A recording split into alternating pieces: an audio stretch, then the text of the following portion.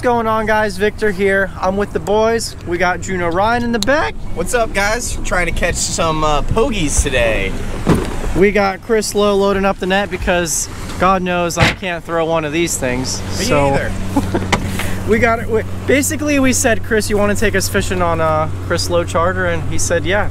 He's been netting a bunch of pogies, also known as menhaden, also known as bunker. Wherever you guys are in the continental U.S., people call them different things. Um, they're a really big type of bait fish that he's been getting a ton of. We've been using them for snook bait, cobia bait, but for the longest time, you guys have been asking for a pogie catch and cook, and that's what Chris is setting out to do right now. He's got the big net, and what we do is we're running around the river, around the Sebastian area. It's really still, and you can, and you can either see them one, one of two ways. Either there'll be birds diving on them, or you just see slight flickers right on top of the water. Oh, he's going. Damn, that was nice, When did how Chris. to throw a net? When did you learn how to throw a net? And when you, when are classes opening know. up? Classes are open, boys. Classes in session. School's in session. I don't feel any. Got lots of jellyfish. Yeah. Try and find one that's flipping. Jellyfish catch and cook. So, as I was saying, you see these little flickers on top. For some reason, bait fish like to, I don't know if they're feeding or what they're doing, knocking parasites off them, but they'll just kind of flicker on top. And that's what we look for. So you see that one flicker and it's usually indicative of the whole school being there. Right there, right, Ryan. Neutral? I'm gonna go reverse. Damn, when did you learn how to throw a net, bro? Do it every day. Are you a commercial fisherman or something? Part timer. The best type. Anyone that says otherwise is crazy. They just flipped up to the left, right there.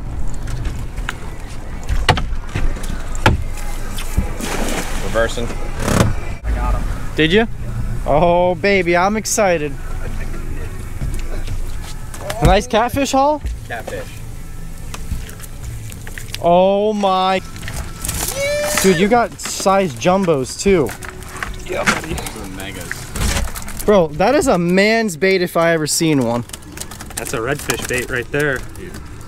Sebastian special. They're all over right here. They're Woo! crazy. The biggest thing when it comes to cast netting, throwing a net, is making sure you don't have any tangles in your lead line or your, your tuck strings are all messed up. Which is that right there. So that's your lead line, and your tuck strings are the pieces of mono that go from the bottom all the way up to the top.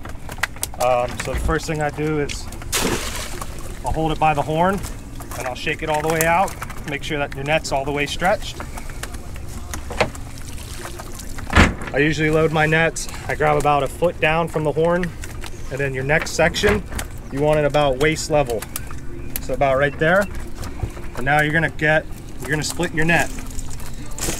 By doing this, you're making sure that there's no tangles, because that's what'll mess you up. And there's 20 different ways to throw a cast net, but this is what works for Chris. So I had a little tangle right there, I got it out. So when you load this, you wanna split your net 50-50. All right? The lead line that's closest to you, you wanna grab that and put it up on your shoulder. You're gonna have a piece that comes off your shoulder that's going down. The way that I throw it, I hook that piece with my pinky and I grab the rest of the net here. And why is that? That's because when you're throwing a big net, this is only a 10, but when you're throwing a 12 or a 14, that final spin is really what opens the net up. So by grabbing it with just the pinky, the 50% of the net will roll off your hand, no problem. Then you hang on to that the last minute and let it roll off. It'll really open your net up good. Thumbs up for Chris right there. Smash that like button. That was that was a very good explanation. What do you think, Juno Ryan? Not, They're not flipping bad. right there, more. You're a lot better on camera than I am, Chris. Wow, that's saying a lot. You- Don't you have a YouTube channel He's or got a lot more too? views than me. Neutral. The nice thing about netting baits like this is you can feel them in the net when you got them. They'll be tugging. So I didn't get them because I didn't feel them. They just flipped right there. So all those little ripples on top, that's what we look for. Oh, they just flipped right there. Oh, I got a Larry. You got a cat? We've already cooked these on the channel. These are the catfish you guys see in uh, Brook's Canal, and Brook's Parents Canal. These Got are channel pliers. cats, hardheads. It's a netter's worst nightmare because they have those spines and they get tangled in the net like crazy. Yeah, just like this. That's not what you want. This is what I want to know. So, if you guys call them Pogey, Bunker, Menhaden, comment below what you call them. Down here by us, everyone calls them Pogey, sometimes Men or sometimes Bunker. Nobody really calls them Menhaden. And the things we're trying to net, the blocks of chum that are usually sold in bait stores, that's usually those fish ground up into a, a fine chum. Same with the oil. Buy straight Menhaden oil. Yep. Um, and it's literally just, I don't know how they process it, but you can buy a whole jug and you put a drop of that in the water and you'll see a slick just come out like crazy. I Yep. think that's probably why fish love them, is the oil that they have. Left.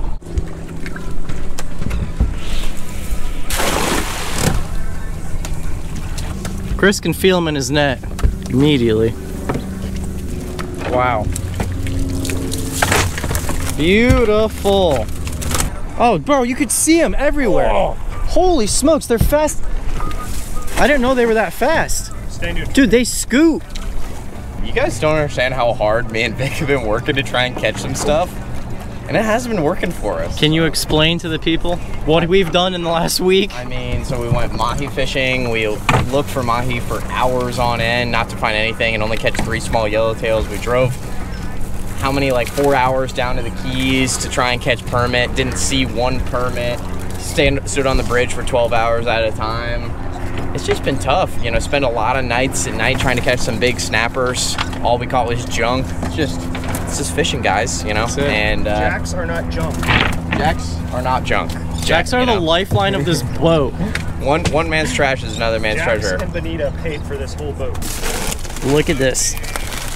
We got ourselves a basket full of dinner. Yeah, yeah. I'll, I'll put them in my box now for you covered in ice, so they'll be iced out. Yeah. What time are you guys thinking of going out? Is there a secret down. secret technique, Chris Lowe? Just dollar bills just falling in the box. Beauty. Oh, look at all that slime. Yeah. Gnarly. Bunker, also known as Pogey, Menhaden, they actually have a, a lot of meat on them. So we're just gonna knock the sides off like we would with a, a mackerel. The meat is extremely firm. Nothing what you would expect from a bait fish. Since these guys are really bloody and, and gutty and I don't want any scales, I'm gonna rinse them off. Now, I really wish these fish weren't so bony because uh, muscle-wise, they have beautiful, uh, firm muscle structure. But the reason people don't like this is because you have a, a backbone and then you have all these little feather-like bones that run from the skin up into the meat that you can't see. These kind of like outlines, these protrusions, that goes into the muscle of the fish and this is the dorsal side of the fish. You have to get a little spoon and what we're gonna do is scrape the meat away. But unlike ladyfish, I noticed with menhaden, when you scrape the meat away, you can tend to get bones in it. So you have to be very delicate. You can't, like with the clown knife and the ladyfish, since they're bigger fish, those bones get stuck to the skin. With these guys, unless you're delicate, it tends to rip out. So on the dorsal side, I'm gonna go from the head to the tail, pretty gently. And basically you're just making yourself a pile. You can do it in a, you know, a couple different passes until you get close to the skin and there's no bone in there. It's just nice and firm. Now I flip it around. Once I do that top part, you guys can see the bones kind of exposed. Now I'll go from the tail to the head and you'll notice that it has kind of like ridges. Ridges. And I'm just very so slightly scooping the meat off. A Couple different passes. You can already see that those bones are starting to protrude up. I'm not giving it a lot of pressure. You know, multiple passes. Because the way these bones lie, they run from the tail to the head, and that's why I switched it up and going from the tail to the head. I don't think so. And another thing I'll say is um, make sure you're not flipping your fillet over as you're doing this because they're also very scaly. So you don't want to get any scales in your, um, you know, in your final yield of meat. When I was doing it earlier, I was getting a few bones. See, like if you do it too much, it rips. See, like it right there, I ripped it too hard and you end up with bone in your fillet. So that is the cleaning portion. For you to get two ounces of fish off of one side of a little bait fish, these are extremely easy to catch. Make it a fun project with your kids. Or if you're deserted on an island and there's pogies around, you guys can certainly take advantage of what the environment has to offer. And these fish are actually extremely important commercially. Um, they're made into chum. The oils are extracted for omega-3 pills. There are a ton of uses for these fish, including the uh, animal industry.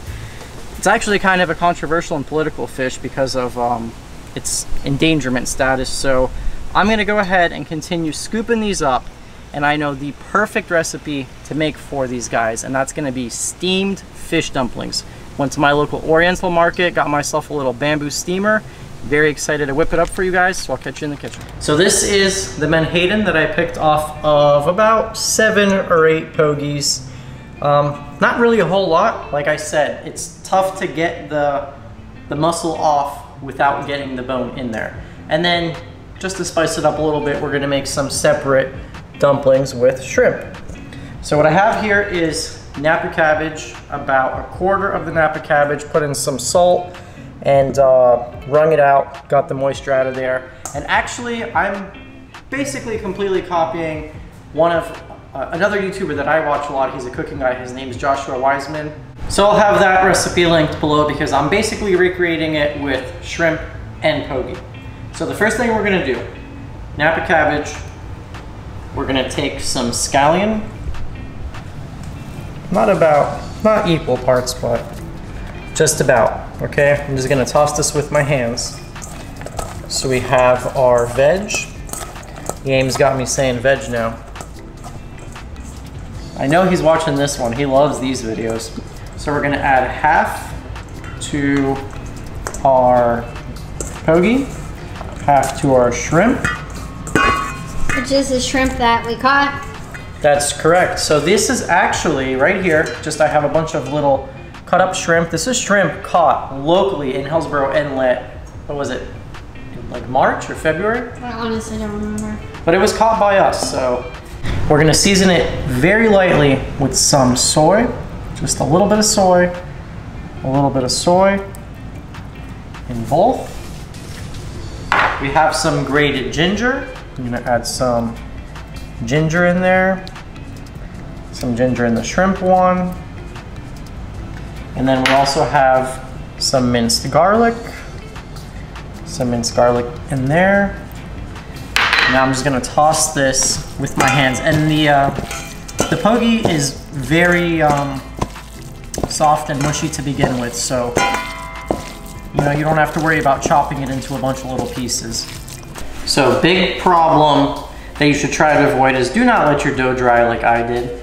Make sure that as soon as you make your dough and you roll them out, um, this is in about three inch sections, three inch diameter, and now we fill them up. You keep your fingers moist, so that way wait, you can seal it off. And since they dried up on me a little bit, I'm not able to stuff them as much as I want, but um, about that much.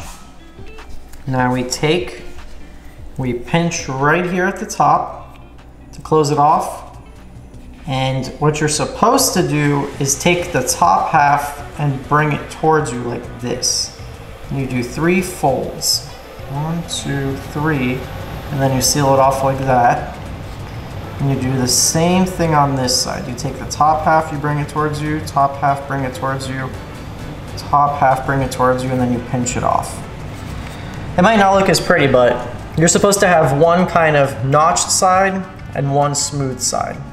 So this is my first time making dumplings, but they're gonna taste, I can tell you right now, they're gonna taste great, especially with the menhaden. I think menhaden is something perfect to use because it is an oily fish to begin with. And when you steam something, you know, you're not really using any oil, you're just using water vapor to cook whatever it is. And since these dried up a little, I just wet my fingers to make them more pliable. And we stuff them with our pogie, cabbage, scallion, soy stuffing. So we got a little bamboo steam basket. Never used one of these before. But I've been told line it with something that's non-stick like these cabbage leaves, which Joshua told us about in the video, because the um, the dumplings would stick to the uh, the bamboo. I don't know if you're supposed to put this many in at once, but you know what? We're just gonna send it because we're trying to do it in one batch. So this layer is the pogi. This layer is gonna be our shrimp layer. And that is not dirt on the cabbage, despite it looking dirty. I tried scrubbing and it just won't come off. So we put on our double layer bamboo. We put on our top and we let it steam. I don't know how long it's gonna take. I think like five to 10 minutes, so we'll check on them then. So now we're gonna make a little dumpling dipping sauce. This is just a little water mixed with some palm sugar. We're gonna add it to about a clove of garlic, a teaspoon, between a teaspoon and tablespoon of rice vinegar, tablespoon of soy, sesame oil, about a teaspoon, and then a nice dose of scallion. I think I left them in for 10 minutes. Nothing is sticking, they're not tearing. These are the pogi dumplings. We got dumplings, baby. We got dumplings. Some scallion.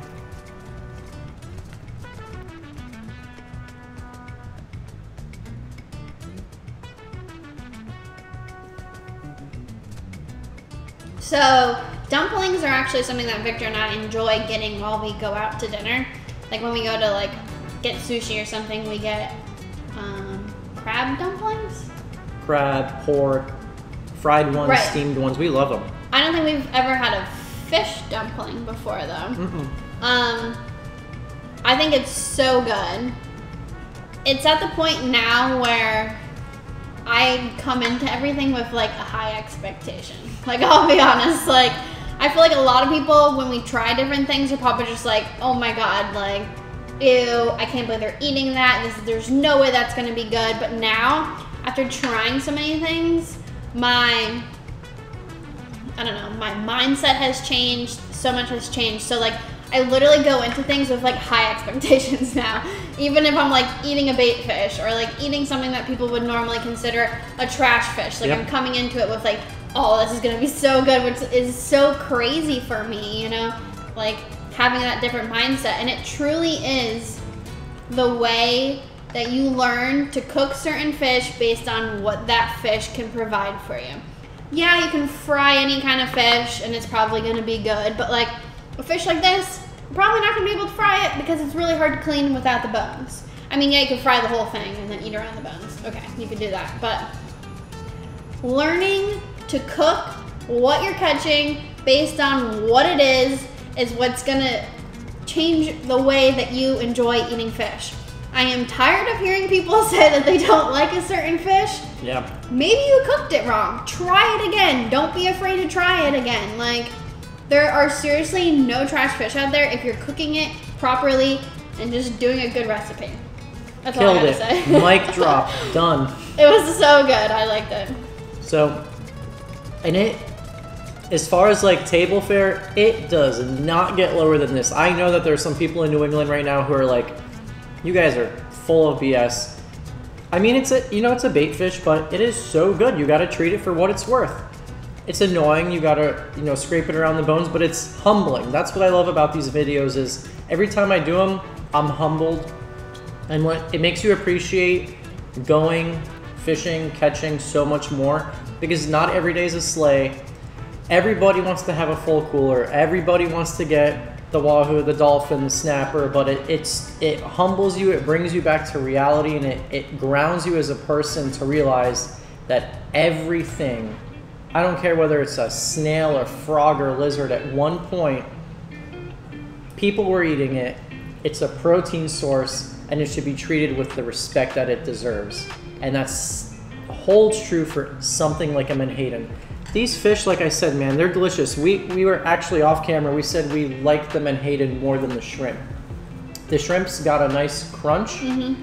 which fish you're not going to get the crunch with because it's it's fish. But flavor wise, there's a reason Fish go crazy over Menhaden. They got a really nice oily flavor. You guys saw I killed three The while she was I, talking. The reason I made that weird face was, did you see I had a shrimp off of this one?